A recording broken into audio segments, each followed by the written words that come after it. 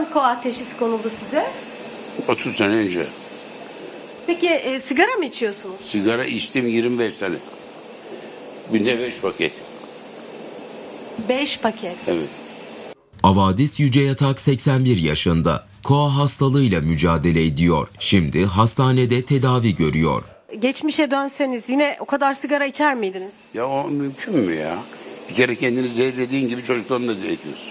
Koa e, kış ve sonbahar e, mevsiminde daha çok gördüğümüz bir hastalık ama tüm mevsimlerde görürüz.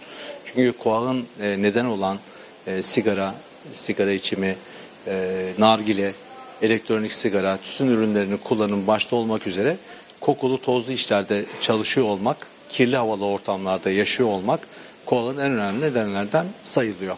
Biz şu anda Yedikule Göğüs Hastalıkları ve Göğüs Cerrahisi Hastanesi'ndeyiz ve bu serviste yatanların çoğu maalesef koa hastası ve koa sigara içenlerin %70'inde ortaya çıkıyor. Koahla ilgili hastanelere başvurular arttı. Sonbahar ve kış mevsiminde gribal enfeksiyonların artması koa hastalarını olumsuz etkiliyor.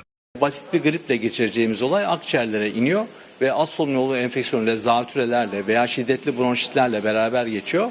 Bu da daha önceden koa olan hastalarda bir maruziyete e, yol açıyor. Koa alevlenmesi diyoruz buna.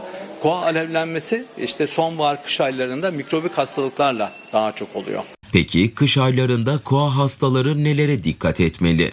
Kış aylarında e, mikrobik hastalıkların arttığı dönemlerde sonbaharda özellikle akciğerleri korumamız lazım. Şapka, kep, bere soğuk havalarda e, boyun atkısı gibi aksesuarlar kullandığımız anda akciğerlerimizi daha iyi korumuş olacağız.